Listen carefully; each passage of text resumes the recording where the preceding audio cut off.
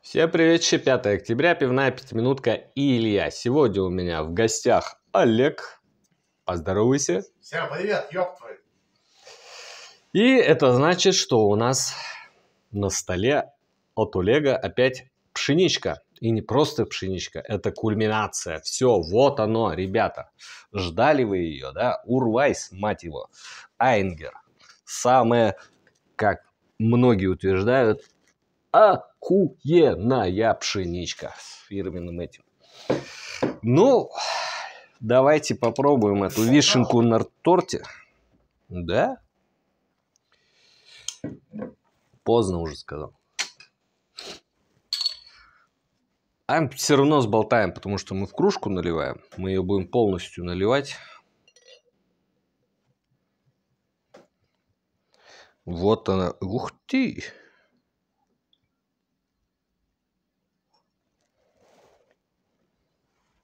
Ну, что я могу сказать? Карамельный, насыщенный цвет. Ну, блин, это пшеничка, поэтому пена, походу, у нас будет отстаиваться долго. Ну, мы пока бутылку почитаем и посмотрим, сколько будет стоять эта волшебная пенка. Я думаю, нормально будет стоять. Если нормально стоит, то стоит. Это хорошо, да, когда нормально стоит. Что там на дне-то? Ничего нету, нормально все. Так, 5,8. Ни хрена себе алкоголя. А розлив-то у нас 25 марта. Но я думаю, смотрите, а, возраст тут в данном случае нам не влияет. Если будет кислить, то это хрен с ним на вкус, да? Но я-то ищу уже не вкус, а именно плотность. И вот смотрим. Айнгер Урвайс. Пиво темное. Вот это поворот. Не пастеризованное, не фильтрованное, не осветленное. Пшеничного верхового брожения. В скобочках полутемное. Так что Состав. Вода питьевая, солод пивоваренный пшеничный, солод пивоваренный ячменный, хмель гранулированный, дрожжи певные. 5,8 на 13,3 плотности. А у нас что-то было ведь 13,3, да? Это не самое плотное пиво получается. Камба, что ли, была 13,3? Что-то было плотненькое. Глянь там. Она здесь с моего. Пу-пу-пу-пу. 13,5 было. Даже А, 13. 13,2. 12. 13,2. А, ну чуть меньше. Ну нет, что-то было 13 и тут. Ну все, Германия, что тут? Кстати, срок годности тоже не год почему-то. Ну что, янтарный, очень насыщенный янтарный цвет. Пенка потихоньку от нас уходит, но мы не дождемся, когда она уйдет. Это будет очень долго. В любом случае, вот шапка-то останется, еще будет долго стоять, так что смысла ждать нету. Блин, его же надо было... Открываешь Каянгер, открывать. Что ж я такой, а? Профуфлыжил. Ну что ж. Ну, кислыми бананчиками пахнет. Ладно, что. Пенка все равно аромат отдает. Давайте пробовать эту вишенку на торте. Блин, так мне до пива как-то добраться-то.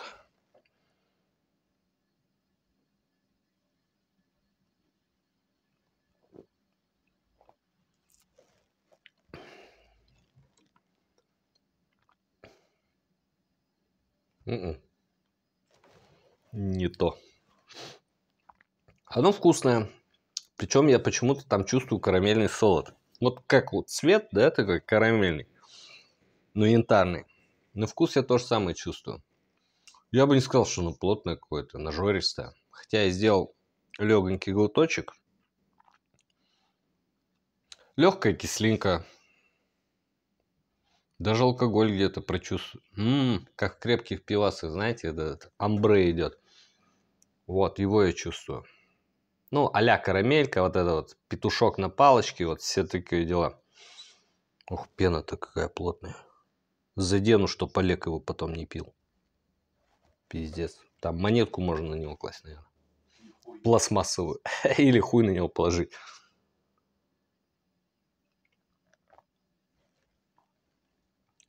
Не, ну плотная. Напиздел.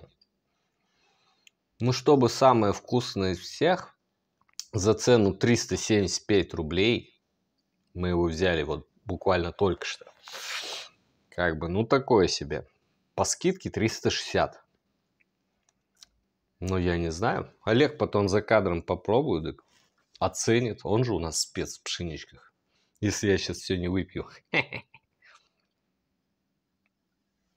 Если ты все выпьешь, ты сегодня нажрешься хули. Да не. Я вчера вон квак пил 8,4 градуса и нормально. 750 миллилитров. А? Что есть? Не. В общем, с легкой кислинкой, с какой-то вот э, карамелькой, чуть-чуть бананов, ну, хер его знает. Вкусно, вкусно, сбалансировано, да.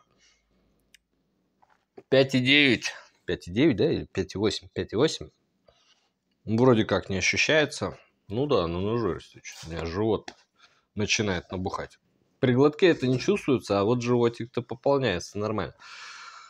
Просто цена какая-то неадекватная. Вот в чем проблема. Для Олега она неебическая. Я-то почти каждый день такой. Э, вот и все. Вот мы и подошли к кульминации пшеничек. Лучше мы, наверное, больше ничего и не попробуем. Да и Олег сказал, что завязывает с пшеничками. Так что будет нам приносить дальше всякие пилснеры, хелисы, да? Я не завязываю, пока просто выбора нет. А, мы все перепробовали, вот в чем проблема.